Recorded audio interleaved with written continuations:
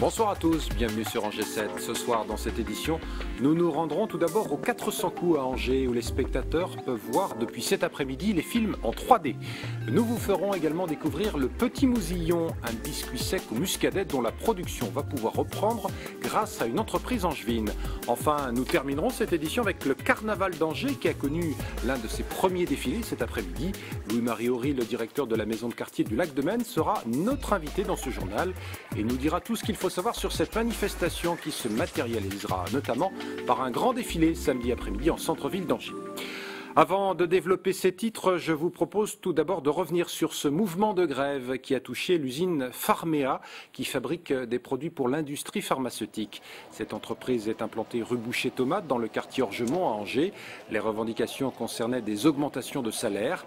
Après plusieurs séances de négociation, la direction et la CFDT ont finalement trouvé un accord cet après-midi sur le principe d'une prime mensuelle de 50 euros ainsi que le paiement des frais de mutuelle. Le travail reprendra donc demain matin. À noter que c'est la première fois que cette entreprise était touchée par un mouvement de grève. C'était une première cet après-midi au cinéma des 400 coups à Angers. Les spectateurs présents ont en effet pu découvrir Alice au pays des merveilles, le dernier film de Tim Burton, grâce à la technologie 3D. À l'heure du tout numérique et après le formidable succès d'Avatar, beaucoup de personnes sont en effet attirées par les films en 3D. Reportage pour Angers 7 de Graziella Doni et Elisa Boval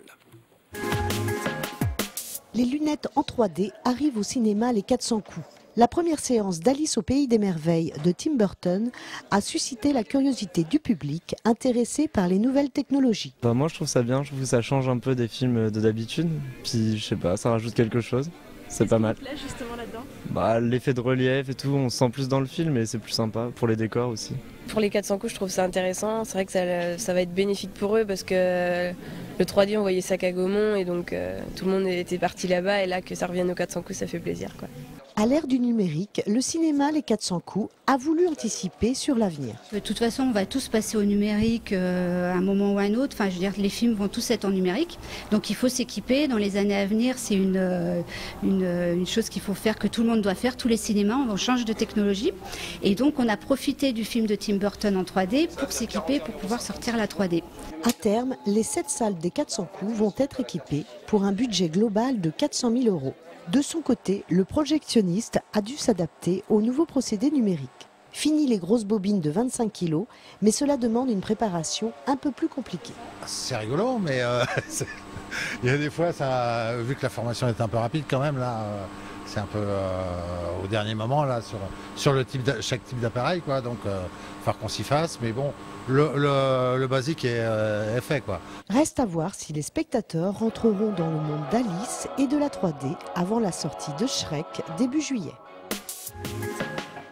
C'est un événement extrêmement rare qui a suscité cependant la colère des usagers. Lundi soir, le TER qui assurait la liaison entre Angers et Nantes en effet oublié de s'arrêter à la gare de la Poissonnière. Du coup, ces usagers ont dû poursuivre leur voyage jusqu'à Anceny, attendre 40 minutes et reprendre un train qui les a ramenés à la Poissonnière. Du côté de la SNCF, on se contente de préciser, je cite, que la sécurité des voyageurs n'a pas été mise en cause et que le trajet a été assuré. Fin de citation. En bref, sachez qu'un jeune motard de 22 ans est décédé hier des suites de ses blessures. Ce dernier avait percuté lundi un véhicule qui effectuait un demi-tour dans le quartier Saint-Léonard à. Sans transition, nous allons maintenant prendre la direction du vignoble nantais où un petit biscuit sec au muscadet va revivre grâce à une entreprise angevine du Puiset Doré spécialisée dans la fabrication du pain bio au levain. Les explications avec ce reportage tourné sur place par Anne Judic. Il est de retour et c'est tout un village qui l'attendait. À Mousillon, depuis deux ans, le biscuit né en 1848 ne trônait plus que sur le rond-point. Alors forcément, ce jeudi, quand la boutique rénovée a rouvert, Daniel était au rendez-vous. Chaque jour que je passais devant, on dit qu'est-ce qui va se passer, est-ce que ça va rouvrir Et vraiment, ce qui nous a fait plus plaisir, c'est au rond-point de voir J-16, J-. Sur ce même site, en 2008, la production du Petit Mousillon s'était brusquement arrêtée avec le déménagement de la société qui le fabriquait. Dans le village, les anciens sont impatients. Faudrait qu'ils retrouvent vraiment le goût de le goût d'antan, hein, parce que moi ça fait 60 ans que je suis à Mousillon, alors depuis 50 ans j'ai mangé des petits mousillons. Hein. La recette originale, Biofournil dans le Maine-et-Loire, assure l'avoir retrouvée. C'est cette entreprise qui a racheté la marque en juillet dernier.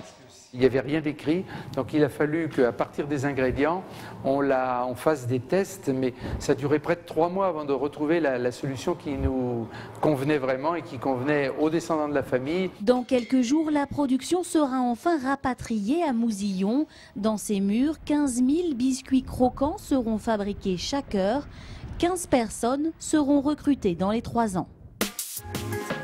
Allez, nous allons maintenant poursuivre cette édition en compagnie de notre invité, Louis-Marie Horry, le directeur de la maison de quartier du Lac de Maine, avec qui nous allons parler euh, du carnaval d'Angers. Bonsoir, bienvenue sur notre plateau.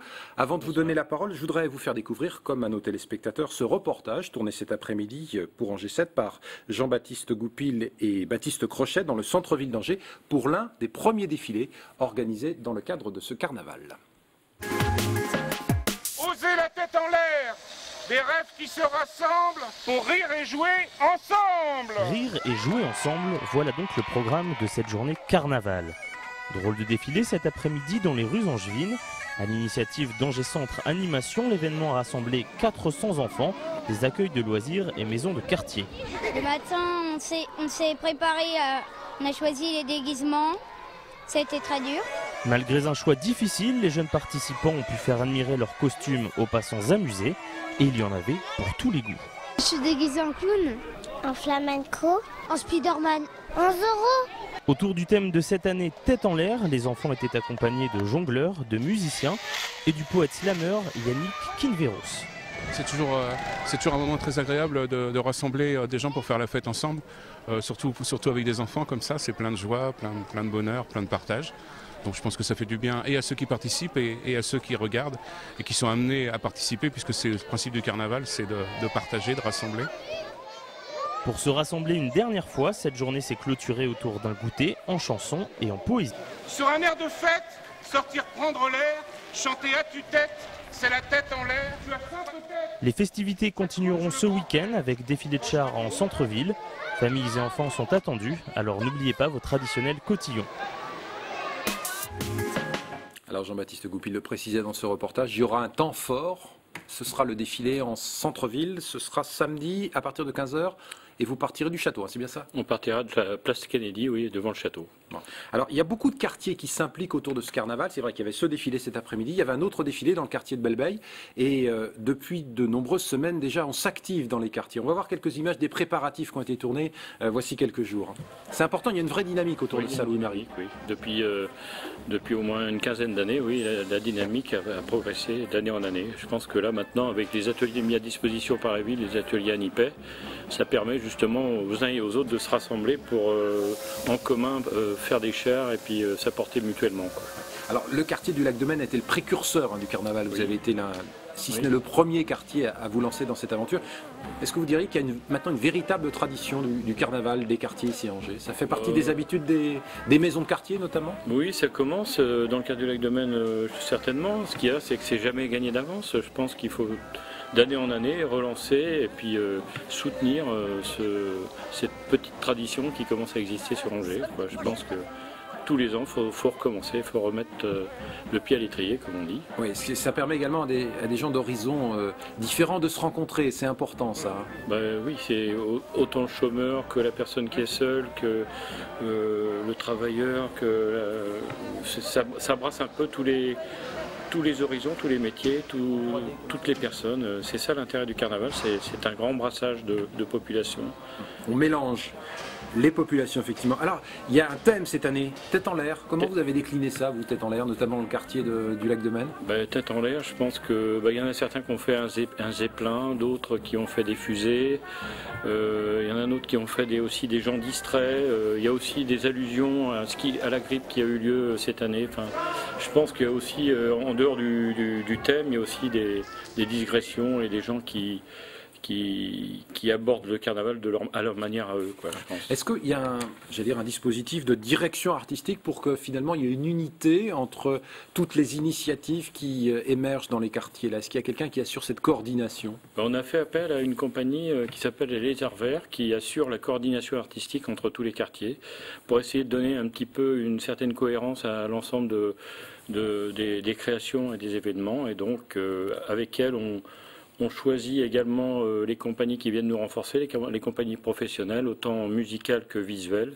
Et donc, euh, grâce à, à la compagnie Les Arts Verts, qui elle-même aussi fait une création ce jour-là et qui assure la coordination artistique du carnaval. Bon. Alors on a parlé de ce grand défilé qui est un moment de, où tout le monde se rassemble. Ce sera donc samedi à partir de 15h. Au départ de la place Kennedy, mais il y a également ce week-end d'autres défilés hein, qui vont se dérouler dans un certain nombre de quartiers. On peut en citer, sans tomber dans une liste exhaustive, mais citer quelques quartiers comme ça qui vont se mobiliser. Alors il y a trois quartiers, il y a le quartier du Lac de Maine, le quartier des Justices et puis le quartier de Marcel Menet, c'est entre Grand Pigeon et Marcel Menet. Bon, en tout cas, il y a une vraie dynamique autour de ce carnaval d'Angers. Merci d'avoir été euh, ce soir notre invité sur ce JT. Euh, demain soir, c'est Nicolas Didel que vous retrouverez pour une nouvelle édition du JT. Merci à tous de votre fidélité en G7.